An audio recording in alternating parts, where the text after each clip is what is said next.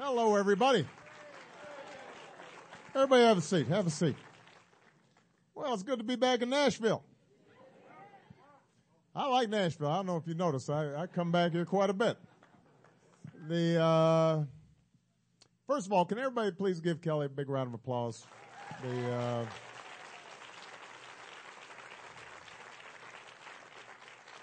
in addition to being a wonderful and somewhat feisty spirit, as I have learned, uh, she also uh, has the distinction of possibly being the first person ever to be picked up at her house by a presidential motorcade. so, which I thought was pretty cool. Well, it turned out it was so close to the school. We said, well, we might as well just swing by and get her. The, uh, I want to I want to thank the school for hosting us here today because I know it's a lot of work when we uh, when we come into town. Uh, very much appreciate everybody who was involved in that. Uh, you have a great mayor, uh, Karl Dean, who's here. So please give Karl a big round of applause. There he is with his beautiful family right there. Family, stand up, family. Come on, come on. There's his family. There, yay. You can't imagine what a family has to put up with when you're in uh, public service. So the uh, we we really appreciate all of them. Uh, Kelly already mentioned him, but he is somebody who is what you want out of a member of Congress. He works hard. He calls it like he sees them. He's willing to do courageous stuff even when it's not popular. He is a gentleman. Uh, one of my favorite people, Jim Cooper. So.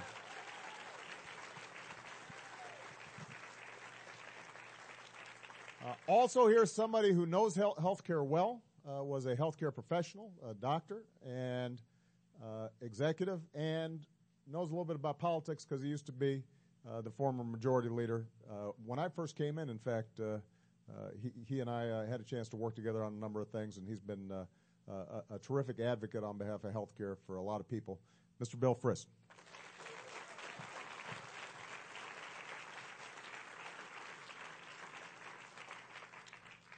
So with that, I think I'm going to take off my jacket, get a little more relaxed here. Um, part of the reason we came to Tennessee, in addition to me just liking Nashville and liking the state generally, thank you, Alan, uh, is that uh, Tennessee has a history of innovation when it comes to healthcare. Uh, doing some very creative stuff. Healthcare professionals, doctors, nurses, hospitals, and executives uh, working alongside uh, nonprofits and the public sector to make sure that people are getting the very best healthcare they can, uh, and also being able to control costs in a sensible way. Uh, and thanks to the Affordable Care Act and the efforts of people like Jim, who took some very tough votes, uh, we now have about 166,000 Tennesseans who have health care who didn't have it before folks like Kelly.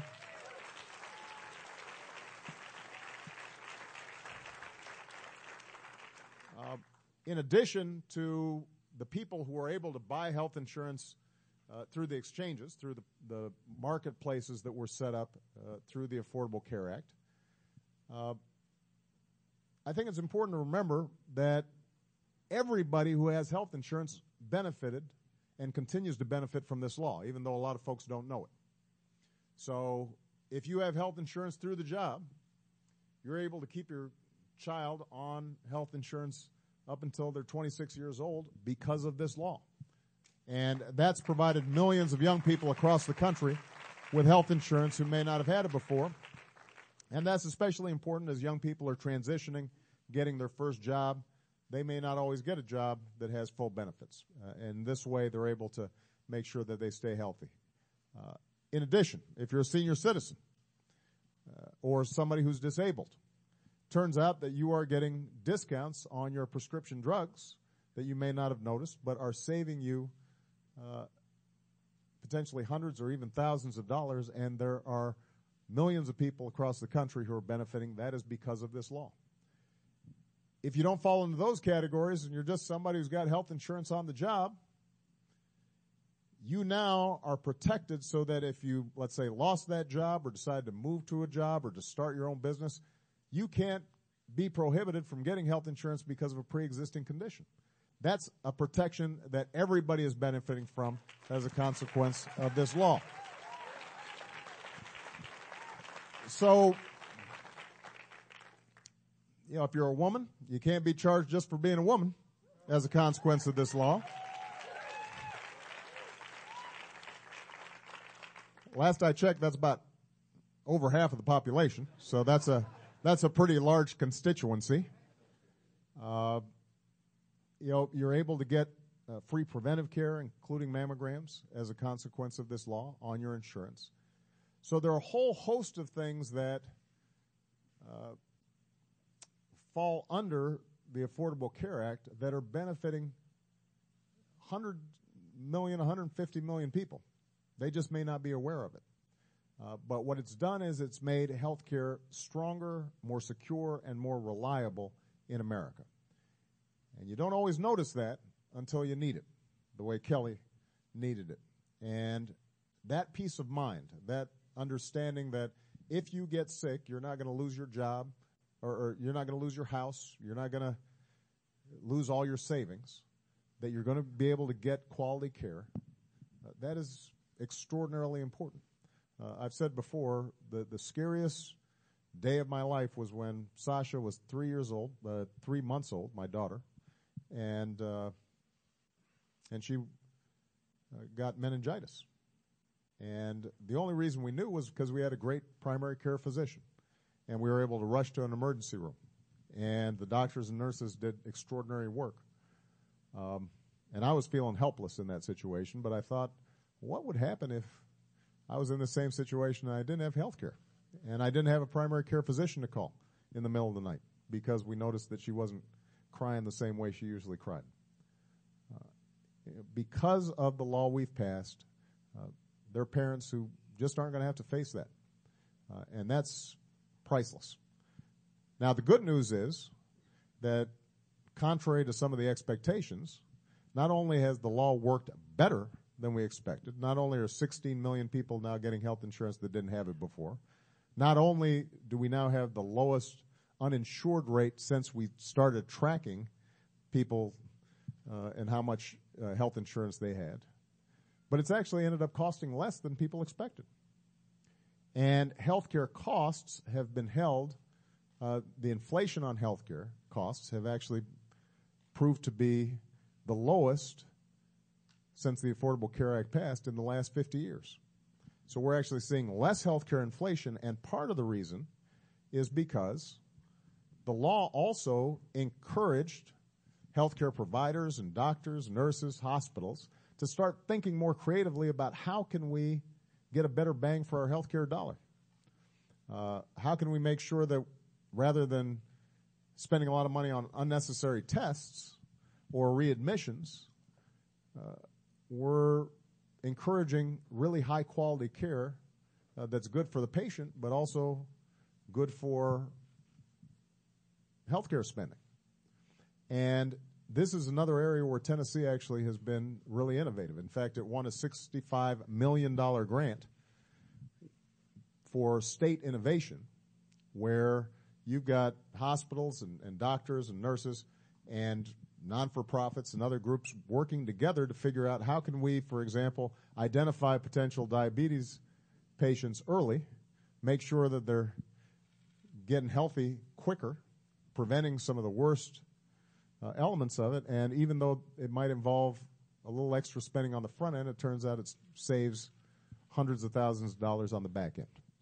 Uh, improves quality of life, improves quality of care, cuts costs, which is good for our economy, good for patients, and good for America.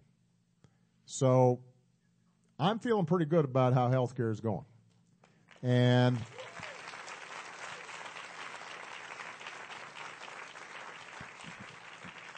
and the the thing I've never lost sight of though is that this is about people. This is not about politics. It's not about Washington. Uh, it's about families and loved ones. And the struggle and the fear uh, that comes about when you have a serious illness and knowing that you've got not just your own family but also a community that uh, has your back. And you know, I, I, you heard Kelly talk about her story. Sitting right next to Kelly is uh, a wonderful woman named uh, Natoma Canfield, who came down with me today. She's from Ohio, and, and she wrote a letter to me pretty similar to Kelly's back in uh, five years ago, so back in 2010, when we were still in the middle of this fight uh, to try to get health care that's affordable for everybody. And uh, Natoma had been uh, diagnosed with cancer, had, had beat it back, then was buying health, health insurance on the individual market, and it turned out that the costs were just skyrocketing so high that uh, she just couldn't afford it anymore. And she wrote to me a passionate letter about why we needed to get this done, and I would always refer back to her letter whenever things got a little bleak and Congress wasn't behaving as sensibly as Jim Cooper behaves. and when we finally signed that bill, um, I had Natoma's letter framed with the pen that I signed the bill with, one of the pens that I signed the bill with, just to remind me that this wasn't about politics. This was about people. And so I'm so glad Natoma's here, but I'm also glad that all of you here. Uh, and part of what I'm hoping is that with the Supreme Court case now behind us, what we can do is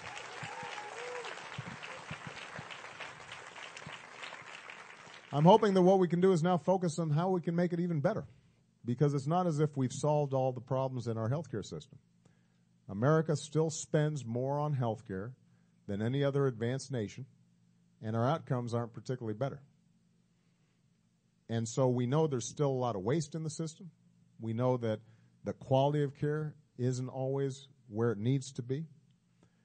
Uh, and so my hope is is that on a bipartisan basis, in places like Tennessee, but all across the country, we can now focus on what we what have we learned, what's working, what's not working, are there further improvements we can make to improve quality? Are there more ways we can encourage people to get preventive care so that they don't get sick in the first place, so that we have a actual health care system instead of a disease care system? Are there ways that we can do better to uh, provide the support we need for outstanding primary care physicians and nurses uh, who oftentimes are coming out of school loaded up with debt and aren't always getting the support that they need?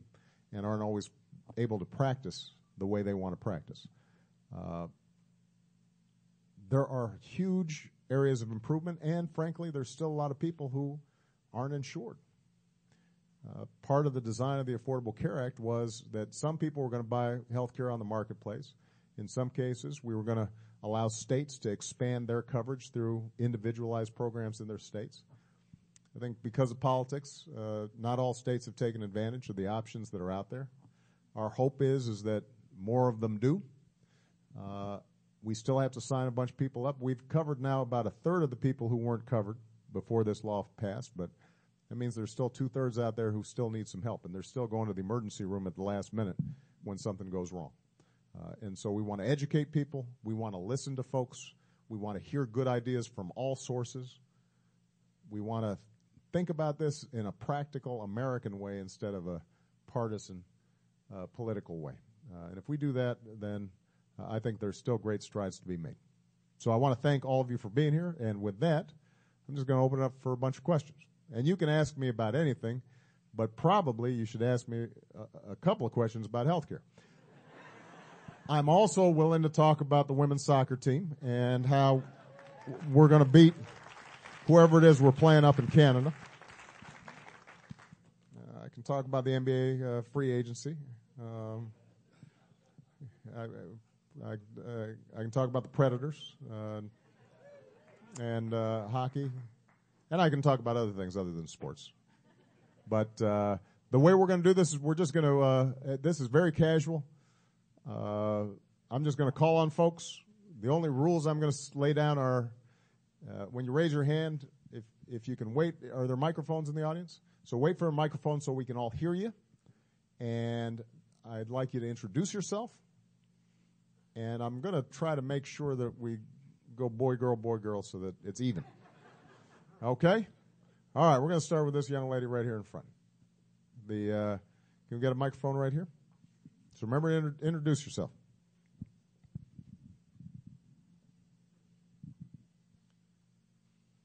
Ahead and hand her, hand her the mic. Sometimes we, we tell our folks to hang on to the mic because people Keep keep it for too long. But this, this looks like a pretty well behaved group, so go ahead and hand them the mic. I'm Jackie Shrego. I'm a Tennessee volunteer enrolling people in the Affordable Care Act. Thank you. Thank you. Thank you. We live in a city with a lot of healthcare companies and a mm-hmm. lot of great medical facilities Yeah. who can take advantage of some of the things you mentioned about. Right. What do you think ordinary fe- people, people who are volunteers or ordinary citizens, can do to help make our healthcare system and our health insurance system better? Well, first of all, I want to thank you for volunteering because so much of uh, our challenge these first couple of years as we've gotten this started was just getting people information because there was so much misinformation out there. So, for example, uh, I, a lot of people don't know that through the exchange, through the Affordable Care Act exchange uh, plan, uh, there's enormous choice of plans. And Tennessee actually has benefited from some of the widest range of choices of just about any state. Uh, you know, I think there are 70 options to choose from uh, for people uh, throughout the state. And about 80% of people who are purchasing health insurance through these exchanges because they're getting federal subsidies, uh, they're spending less than 100 bucks a month for good quality care. And you know that's true nationwide. So part of our goal here is just to give people good information. And and in fairness to folks, look, you know, before I started tackling this whole healthcare thing, when I got a job, I didn't really pay attention to healthcare benefits. You know, you go to the job and somebody from HR hands you a form and says, "Here, fill this out." And, you know, and they tell you, well, you need to choose from, you know, two or three plans, and you kind of ask them, "All right, well, what do you think?" they tell you, "Well, that one's pretty good," and you sign up for it. Uh, you know, most of us don't spend a lot of time thinking about health insurance until we get sick, unfortunately. So, so getting people information, I think that's something that uh, is is really helpful when it comes from neighbors, friends, coworkers, your church, because you, you have more trust. Sometimes people don't always trust what they see on television, especially on something that uh, became sort of a political football. Um, I think the other thing is is for citizens to share their stories of how it's helped them, not only with their friends, neighbors, coworkers, but also with their state legislators and you know with their governor and you know writing letters and letting them know that uh, this is helping people. Uh, it makes a difference, so that they then uh, recognize uh, that this is an important need and and uh, it's it's worthy of support. And then you also got to take care of yourself. But you look really good, so you're obviously getting exercise and eating right, and you know, getting regular checkups and all that good stuff, Cause, because that's helpful as well. Uh, that's part of how we keep costs down is making sure people are well informed about what it takes to to live a healthy life. So, great question though. Good. All right, it's uh, gentleman's turn. This guy right down here. He's got a good looking beard. All right, hold on a second. Uh, let's get the mic. Like I said, you can just pass it down to him. It is an honor and a privilege to be here, Mr. President. My name is Kenneth Wilburn. I live in Pikeville, Tennessee. It's about 50 miles north of Chattanooga, and I'm here representing the 280,000 people that is uninsurable in the state of Tennessee with the Insure for, for the Insure Tennessee Act. Mm-hmm. And what we need is we're, we're not we've not got no insurance. We can't get no insurance. We can't. We don't make enough to to to pay for insurance, but still yet we make too much to get a subsidy insurance. Right. And I would like to know if you are aware of this, or is there anything that movements or acts that you can make on part of our problem here? Well, uh, first of all, I, I appreciate uh, your comments. Um, there's something uh, that can be done, but it's going to be uh, at the state level. And I think that it's important for state legislators to get together and find a uniquely Tennessee solution to the problem. But understand the, the way the, the law was set up was that uh, states would have the option of expanding uh, existing programs like Medicaid. And then you'd also have people who are buying health insurance on the marketplace and getting subsidies. And the point you're making is that if the state hasn't taken action on one part of the program, then even with the good work that's being done for people who are getting subsidies and purchasing insurance, you're still leaving a bunch of folks out. And here in Tennessee, that's probably, uh, you know, a couple hundred thousand people who could benefit if we really focused on how to fix it. Now, as I said before, Tennessee has a history of bipartisan, smart, state-specific efforts to expand health insurance. And I don't expect that uh, what's good for Tennessee is automatically going to be the same as what's good for California or what's good for my home state of Illinois. Uh, but given the, the strong history of innovation in healthcare in Tennessee, and given the high quality of doctors and hospitals and nurses and networks that are here, uh, y'all should be able to find a solution. Uh, and uh, the federal government is there to help and to work with uh, those states that are uh, ready to get going. Uh, I, I will tell you, the states that have taken full advantage of all the federal options available, they have an even lower uninsured rate and a healthier population and more people signing up for the options that are available than those states that have not taken full advantage of those options. And that's just a fact. Uh, and, you know, it, it is unfortunate that getting this thing done uh, got so political. Washington is kind of a crazy place. Um, but that doesn't mean every place has got to be crazy. So, you know, I'd, I'd like to see, I'd like to see some good sense spring forth from the great state of Tennessee. See if we can get this thing done. All right. All right. Yes, right there. Go ahead. Thank you so much for being here today and sharing with us. I'm Karen Springer from St. Thomas Health and one of the administrators. So the the work that has already been done, the exchange, we know we have work to do with expansion. What would you envision are the next steps that we need to take in healthcare in general for our country? You know, uh, the the areas where I think we can still make the biggest difference, in addition to making sure everybody is signed up for the options that they have, is to really think more about the delivery system of healthcare. Um, and and this can get real complicated because we got a complicated healthcare system. Uh, but I can boil it down maybe uh, into layman's terms. Um,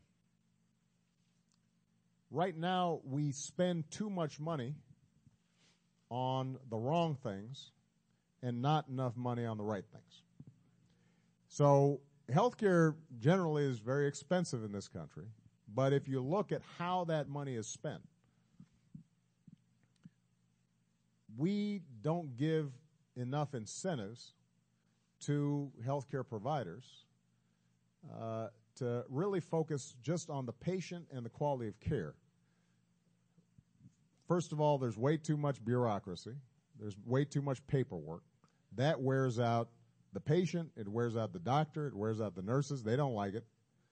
Uh, the second problem is that because of the way that we've designed the payment system in healthcare, you know, historically what happened was that, let's say a hospital or a doctor uh, had a patient come in says, I've got diabetes, uh, or or I have, I think maybe diabetes. The hospital or the doctor would get paid to amputate the leg of a patient, but they wouldn't get reimbursed if they just hired somebody to monitor whether that individual was taking their medicines on a regular basis and monitoring their eating habits. Right? So what ends up happening is is that you don't end up helping the patient who might have kept their leg if they were keeping up a regular regimen of you know looking after themselves. Uh, the doctors don't feel good about that. The nurses don't feel good about it, but they just don't have time because of the economics of the healthcare system. One of the things that we're trying to do across the across the board, and, and Tennessee is actually doing some good innovation on this, is let's reimburse people for the outcomes and the quality of care that people are getting. So instead of when that patient comes in, instead of worrying about just okay, I'm going to bill for this test and I'm going to bill for this surgery, let's tell them if if that person ends up having a good outcome, then you're going to get reimbursed, and the better the outcome, maybe the bigger the reimbursement. And now it may turn out that it's a good deal for the doctor to spend an extra half an hour with the patient, very carefully going over the medicine they should be getting. Or the hospital may say, you know what, we're going to sign you up for a health club and make sure that you're getting some regular exercise. Or we're going to reimburse you for a smoking cessation program. And suddenly, all that produces a better result. But we've got to make sure that we've got a payment system that follows that logic of patient centered care. And as I said before, we're already seeing that happening. Part of the reason that we've actually seen healthcare costs slow, the, the inflation of healthcare slow, is because folks are starting to get reimbursed in different ways, and uh, healthcare groups are starting to organize themselves to focus on the quality of care as opposed to the amount of care. If we can do that, see what that does is, first of all, it frees up resources. It's not good for anybody when healthcare costs go up because not only does the federal government have to pay more, the state of Tennessee has to pay more. That means there's less money left over for doctors, nurses, for health education. It means higher premiums for the patients. But it also means that, you know, if we're saving uh, two, if, if we just cut 2% or 3% on the cost of healthcare, that's hundreds of billions of dollars that we can now spend on something else. You know, we can spend that on education. We can spend that on job training programs. We can spend that on fixing some potholes. Uh, and it can improve everybody's quality of life. So, so that I think is the area that we're going to be spending a lot of focus and a lot of time, in addition to making sure that people are able to sign up for uh, the care that they need. Because I, I want to emphasize there's still too many people out there who haven't signed up or can't sign up for the health care uh, that's available to them. And if we can clear away some of the politics, that will help as well. All right, good. Uh, gentlemen, right here.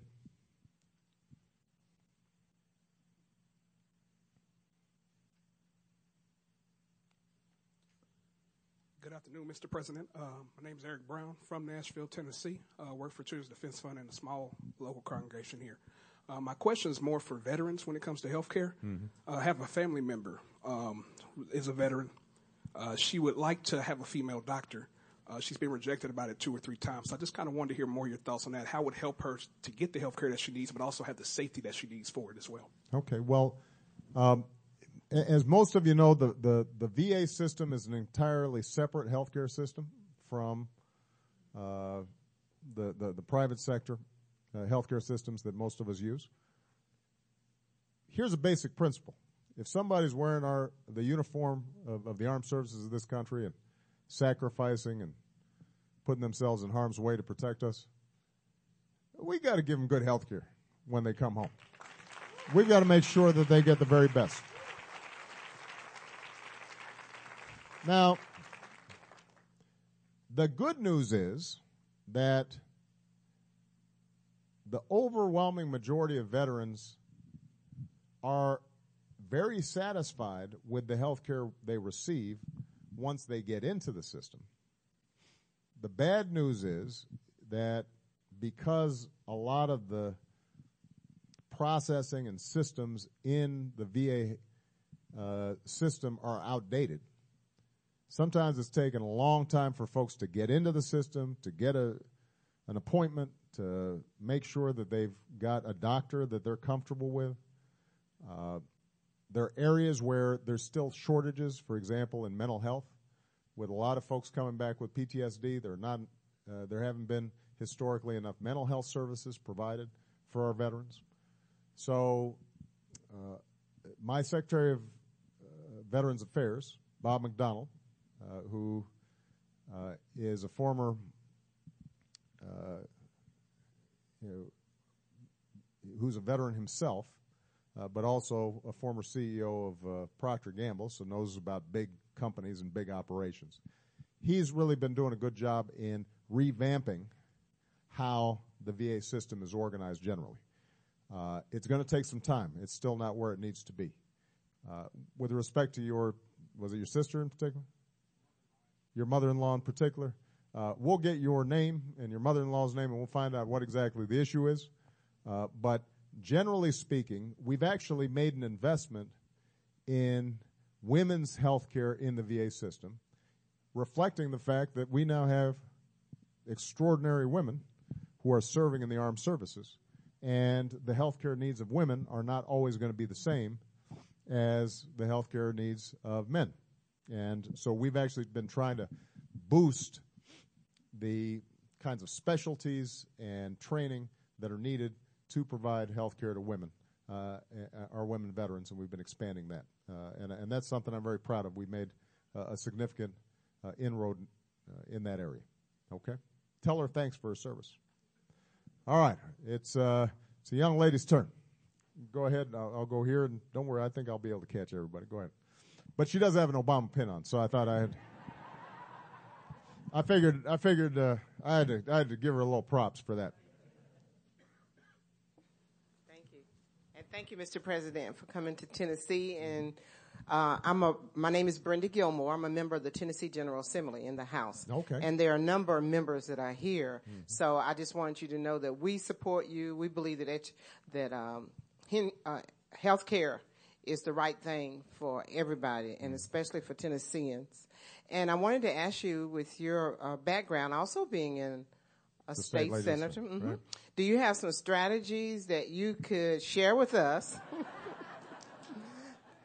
that we could encourage our governor to stay on the journey and to continue to find solutions to um, present Insure Tennessee and to bring some of our colleagues over on the other side uh, so that we can take the politics out of it and uh, help them to understand how important this is right. to the quality of life for Tennesseans. Well, I I, uh, I don't presume to know. I don't presume to know as much as you do about Tennessee politics. Uh, so so I will leave the uh, leave the expert uh, advice to folks like uh, like Jim Cooper, maybe. But but but but here's the one thing I do know uh, is that elected officials respond to public opinion. I think one of the challenges that we've had throughout this fight has been that uh, there's been a lot of misinformation out there. And so if you stopped the average Tennessean on the street and you asked them, uh, do you support making sure that insurance companies can't bar you from getting health insurance because of a pre-existing condition? eight out of ten of them would say, absolutely, I support that. The overwhelming majority of Republicans would support it just as much as Democrats did. Now, if you asked them, did you know that the Affordable Care Act is what is guaranteeing you don't get uh, blocked from getting health insurance with a pre-existing condition? You'd get an argument with at least half those folks. No, that's not that's not what it's doing. So so part of it is just providing people good information. Uh, that's really important. Uh, and if if if ordinary folks feel it's important, then usually, uh, you know, elected officials start responding. Um, I think the other thing to emphasize, which I know you you're already doing, is uh, recognizing that not every state's the same, and that the truth is, is that there are a lot of different ways that states are approaching this problem. And if everybody will just acknowledge that people should get health insurance, right? That, that, that, that they, they should be able to get affordable care when they need it. If that much is acknowledged, that base principle, then you can say to them, okay, here's our ideas for how to do it. What are your ideas? And, you know, people can come up with uh, good ideas uh, of, of their own. I will say this. People tend to forget that the Affordable Care Act model with health care exchanges and buying on the, on the, uh, you know, in the marketplace and getting subsidies from the federal government. Um, that was originally a model that was embraced by Republicans before I embraced it. It's the model that Mitt Romney signed into law in Massachusetts. It's the model that conservative organizations like Heritage Foundation thought were a good idea. So my hope is that maybe now we can return to, you know, uh, a constructive conversation uh, about if if if folks have better ideas, uh, you, you, should accept them. My my general rule is I have no pride of authorship here. I just want to make sure Kelly's got health insurance. I want to make sure Toma's got health insurance, and I want to make sure this gentleman gets health insurance. And if there's a better way of doing it, let me know. But it turns out that it's hard. So, you know, you, you, you know, it, has got to be an idea that actually works. You know, it, it can't be an idea that sounds good but then doesn't work. That, that, that's the only danger. So, if somebody tells you that, well, we're going to prohibit insurance companies from barring you uh, from getting health insurance if you've got a pre-existing condition, which is popular. But we're going to allow people not to get health insurance if they don't feel like it. Then the truth is that doesn't work. And the reason it doesn't work is, if you think about it, if you knew that the insurance company couldn't prevent you from getting health insurance uh, once you were sick, you wouldn't pay all those premiums until you got sick. And then you'd go to the health insurance company and say, there's a law, you've got to sell me health insurance. And you'd save a whole lot of money. But of course, the whole insurance system would collapse. It wouldn't work. Right? So there are just some, some basic things that, basic realities about the healthcare system that have to be taken into account. Uh, but I think you should be open to, to other ideas. Uh, like I said, I, I look, I, I didn't mind stealing ideas from Mitt Romney. you know, I you know the, uh, the you know the the bottom line is what works, what what works, and and and if if if Republican legislators uh, have be- better ideas, you know they they should uh, they should present them, but they have to be they have to be realistic, they have to be they, they have to be meaningful. So, okay. gentlemen, right here in the glasses. Right here. Yeah. Uh, Thank you, Mr. President. I am Mohsen Nagib. I work with Family and the Children Service. I am in person health assessor and I help people like enroll in the marketplace. And I want to thank you so much in behalf of many people I've been helping, especially like those vulnerable immigrant people to get like affordable health insurance. Uh, we really thank you very much. Uh, also, I just want to ask if you have any plans to expand this Affordable Care Act for like more sectors of immigrant people, especially people don't have enough like document in this country, but they still live and work here for a long time. Thank you. Well, you know, we were very clear that the Affordable Care Act did not apply to uh, people who were not here legally. And that's the law. So that's another example of, you know, there's a lot of misinformation about this.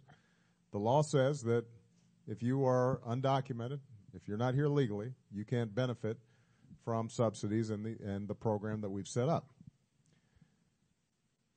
The real answer to your question is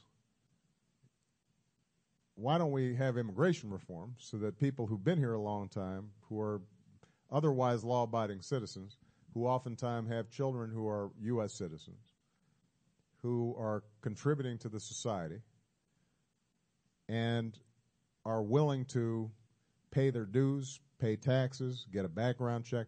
Why don't we give them a pathway so they can be legal? You know, if we do that,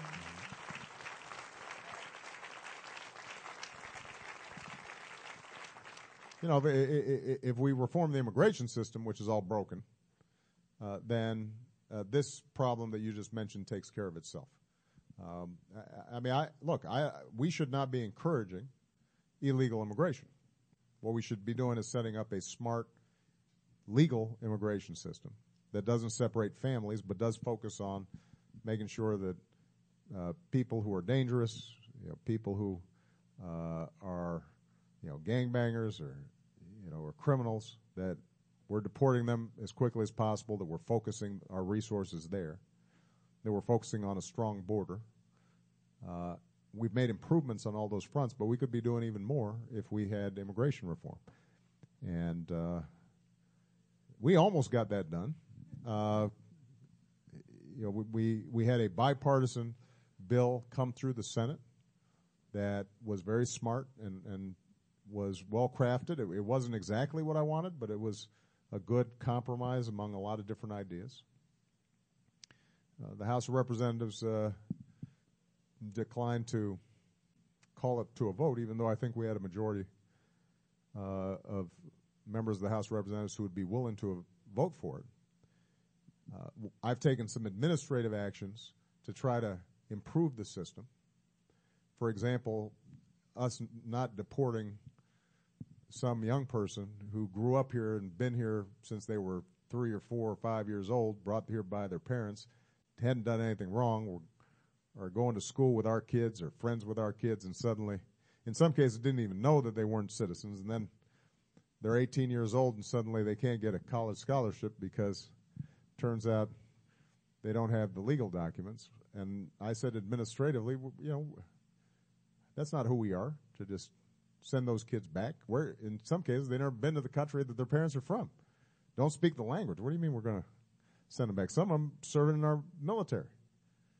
Uh, so, so we've done a lot administratively. Ultimately, though, to really find a full solution to the problem, we're going to have to get congressional action. And uh, I suspect this will be a topic of conversation uh, during the uh, upcoming presidential campaign. Um, I should note, by the way, that uh, Michelle is very happy that I cannot run. the uh, that is good for the health care of our family.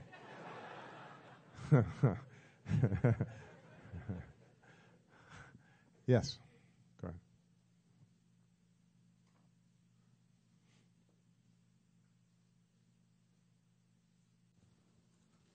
Thank you, Mr. President. Marion Hers from Mount Juliet, Tennessee. And thanks to the ACA, I was able to retire and still get health insurance. My question is uh, what are your thoughts on how to now manage the premiums? I don't know if you're aware, Blue Cross yeah. Blue, Shield of Tennessee has announced a significant increase after the one that they gave from 2014 to 2015.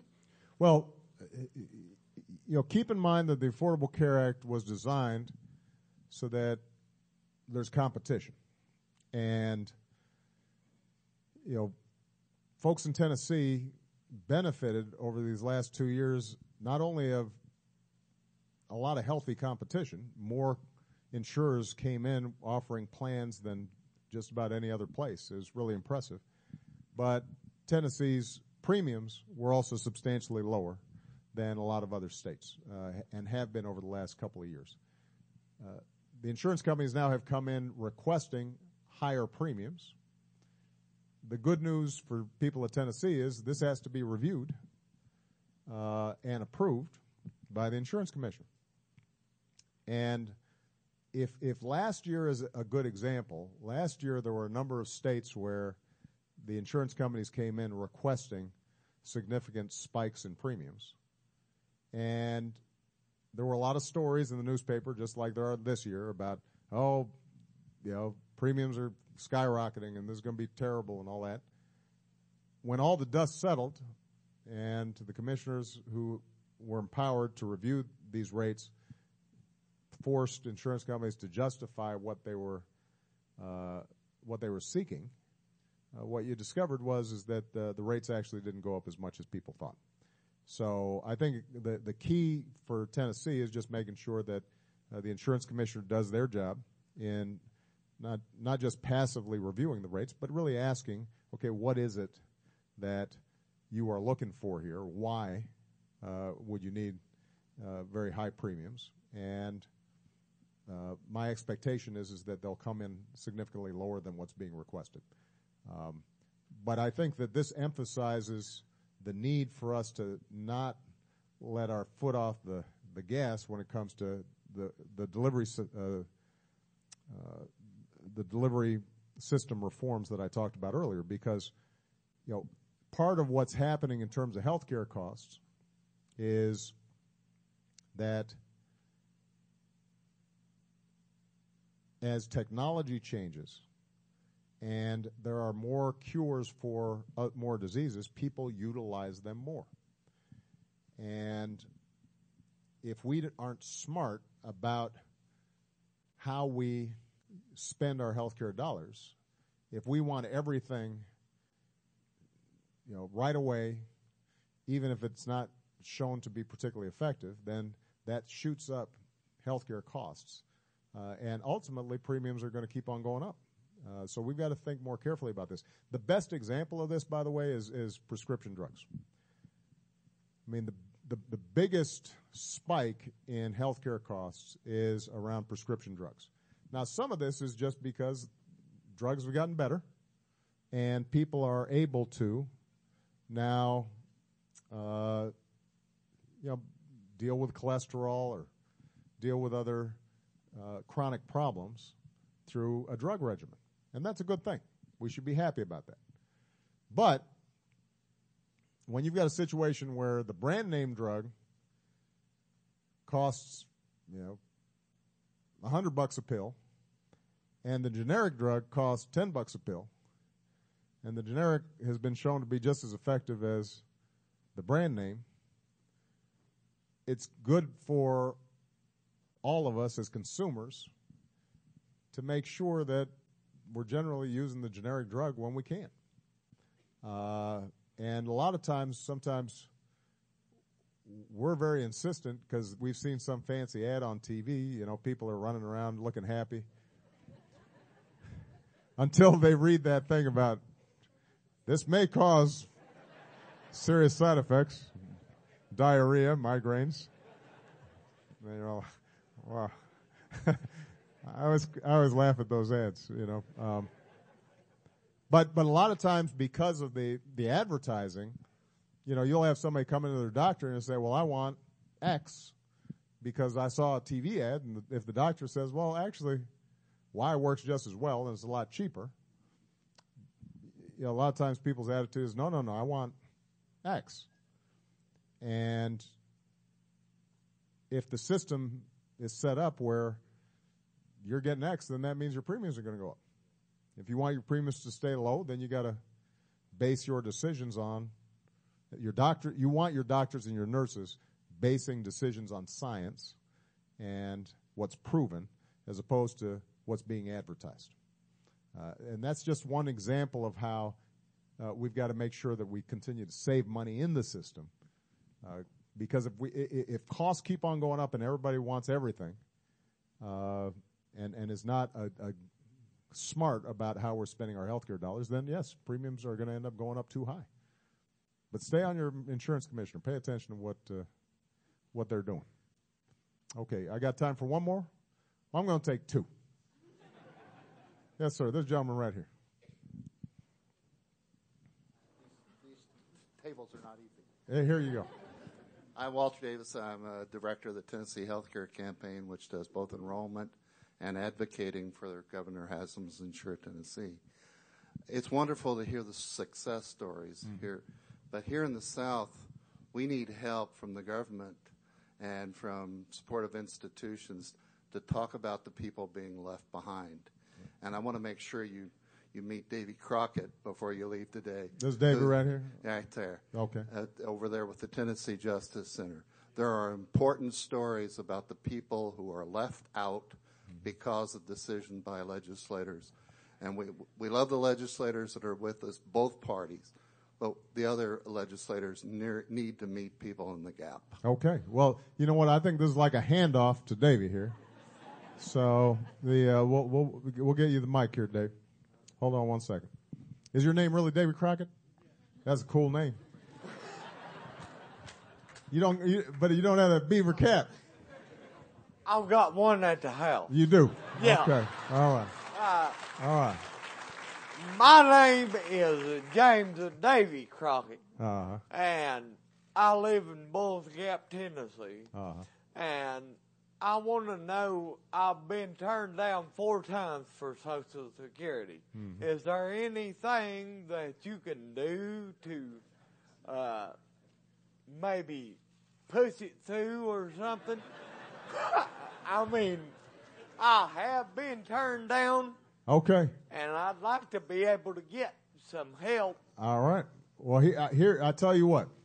Here's the, here's the thing, Davey. I, I don't run the Social Security Administration.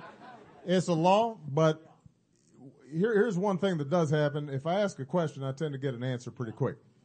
So what we're going to do is we're going to get your information, Davey, and I'll make sure the Social Security Administrator takes a look at it and expedites it. All right. Okay, thank you. David Crockett.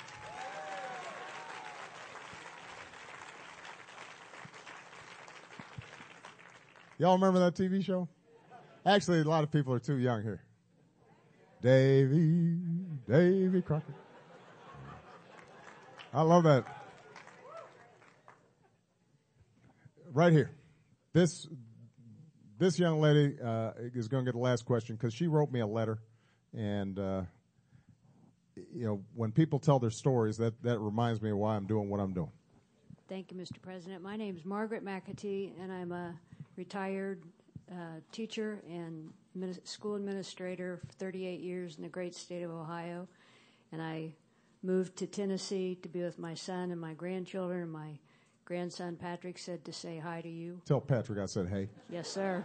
Okay. Um, the letter I wrote was after watching you make a speech to college students, and at the time, it was after the fact of the death of my son and being off of health care.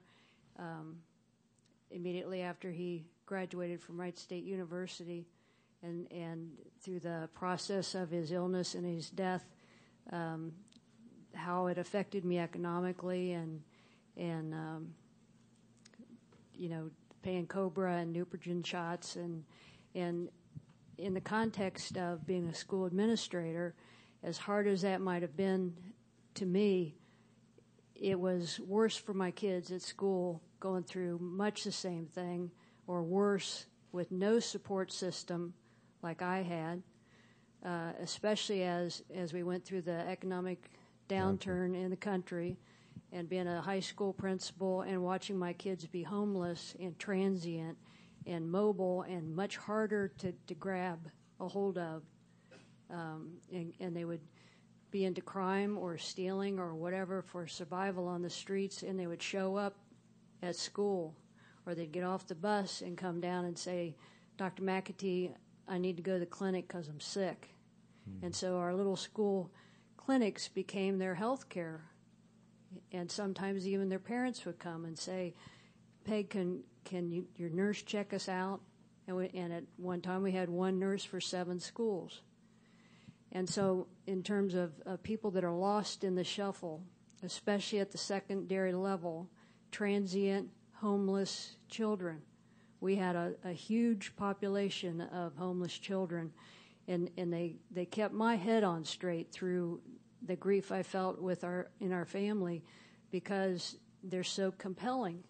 You know, they don't let teenagers don't let you sit around and, and whine. They pull you forward into life. And my concern for the school systems in this country is for the massive health care issues that walk in the doors of school systems who don't have nursing care, who don't have clinics that are staffed, who don't have the resources, and, and many of the teachers in America uh, take care of the kids out of their pocket. Uh, school cooks feed children, uh, you know, slip them a little bit. I know for a fact that many of my kids only ate with confidence at school. It's one of the reasons I love Mrs. Obama and her promotion of of school of decent school lunch. I can remember walking into a school system and the lunch they served was a little piece of cheese, a, a little short pasty um, breadstick, and a tiny little tomato sauce cup, and that was lunch until Mrs. Obama brought focus to what was being served to our children. So, so the kids in the country who are homeless and deprived and transient. You know, uh, as soon as a kid gets 15 or 60, it's hard to. They come and they show up once in a while, or they they go off and they bounce from home to home, or buddy to buddy, or situation to situation. They're the ones that I'm worried about falling through the cracks, and I'm worried about our school system and the focus that we spend more time and effort trying to get what we used to call in Ohio butts in seats to take tests instead of seeing to their health care needs and their mental health care needs and, and support needs so that we can wholly educate a child in the United States of America. That's, a, that's a great comment. Well, uh, well, well. First of all, uh, Margaret, uh, we're so grateful for you sharing your personal story. Uh,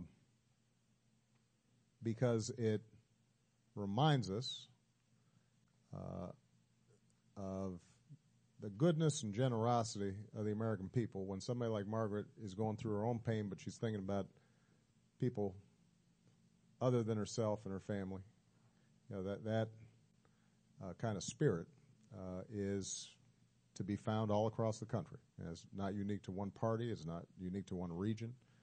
Uh, you know, there are good people like Margaret uh, everywhere. Um, I, I, a couple of points I just pick up on that you mentioned. Number one, when we talk about the healthcare system, we have to just remind ourselves of the economic impact of the healthcare system on families. It's not just feeling bad. Obviously, when you're sick, the, your most important concern is getting well.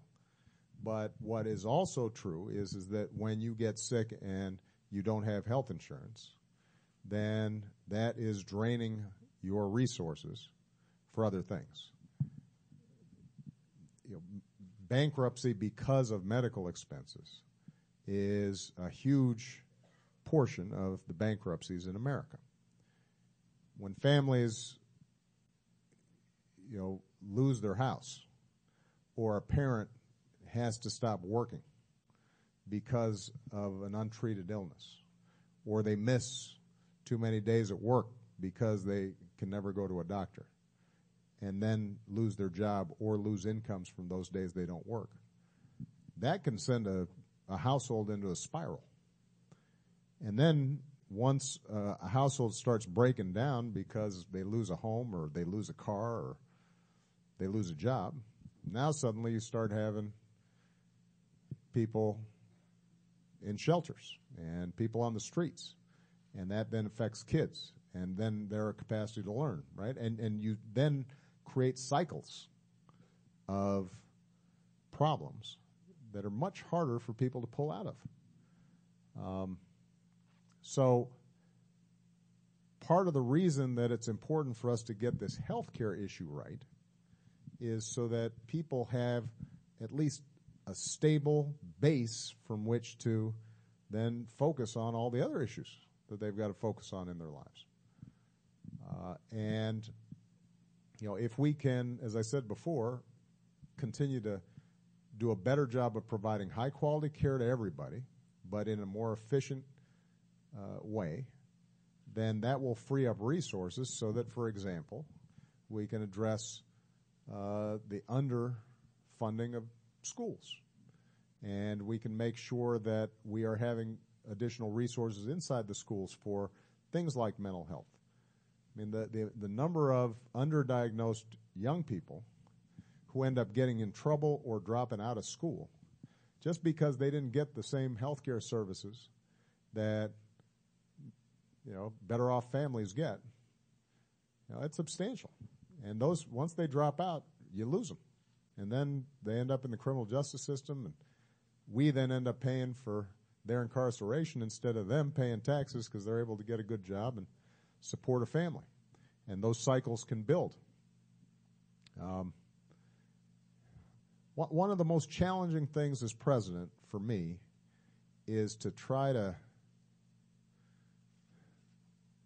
to try to get folks to to recognize that investments in people oftentimes save us money over the long term, even if it looks like it costs some money in the short term.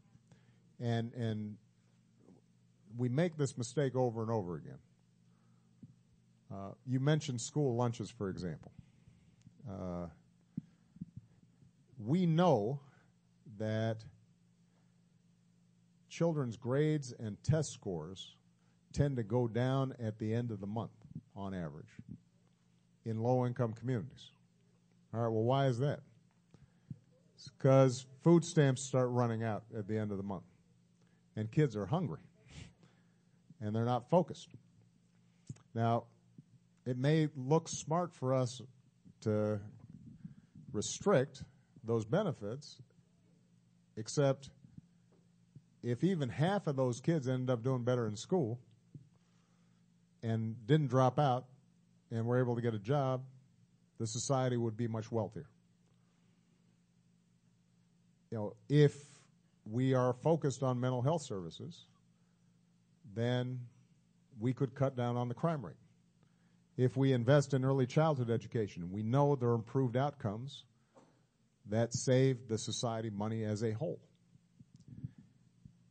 And let's face it, I mean, part of what prevents us from making those, those investments in the short term is, is that uh, we've gone through some tough times. The middle class feels strapped. You know, people's incomes and wages haven't gone up even after the recovery where we dug ourselves out of the crisis, we still have growing inequality where a, a huge amount of the increase in income is still going to folks at the very top.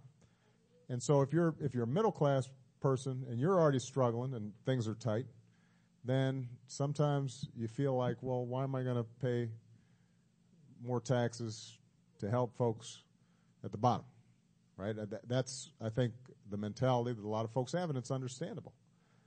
Um, but part of what you know I've, I've, been trying to argue, and I know Jim tries to do it as well, is is to recognize that uh, we don't have to choose between middle class families working hard and trying to get ahead, and low income families who are working hard and trying to get ahead. If those of us who've been extremely blessed are just a little more open hearted about how we can help everybody. Uh, and you know, it's. Um, I, I, I would like us to just reflect the generosity of spirit that Margaret expresses. Because if we all have that generosity of spirit, if we all look at every child as a member of our family, if, if, we, if we think of, of everybody as part of a single community, then we can solve a lot of these problems and it won't end up costing us more money. It, it, we, we won't necessarily have to pay more taxes. We'll just be spending in different ways. I mean, in some ways, healthcare is a, is a good metaphor for a lot of the problems we have. We spend things on stuff we don't need and we neglect the things we do. And we don't end up healthier as a, re- as a result. Well, that's not just true for the healthcare system, that's true for our economy. You know, we, we, we waste a lot of money on stuff we don't need, and we underinvest in those things that will make sure that we have a healthy society. Uh, and politics oftentimes gets in the way. Uh, and, and, and part of what I've, you know, tried to encourage my own Democratic Party to do is to recognize that not all the money that we spend is at the federal level is smart, and some of it, you know, some programs don't work, and we should end those when they don't work, and be honest about what's working and what's not. But part of what I've also tried to do is to say to the Republican Party, um, open your hearts and, and, and think about the people here in Tennessee who are working hard, are struggling, and just need a little bit of help. And if we give them that help, it's going to pay off over the long term. This will be a stronger state. Employment will be higher. Folks will be paying taxes. Everybody's going to prosper. Uh, we're all in this together. That's what I believe. When America is together and we have a certain generosity of spirit, even if we're hard headed about making sure stuff works right, uh, and we're not wasting money, but we're doing what is needed uh, to give everybody a, a shot in life, that's when America grows. That's when we prosper. I know that's what you believe too, Margaret. You showed it in your own life. We appreciate you very much. Thank you. God bless you. Thank you, everybody.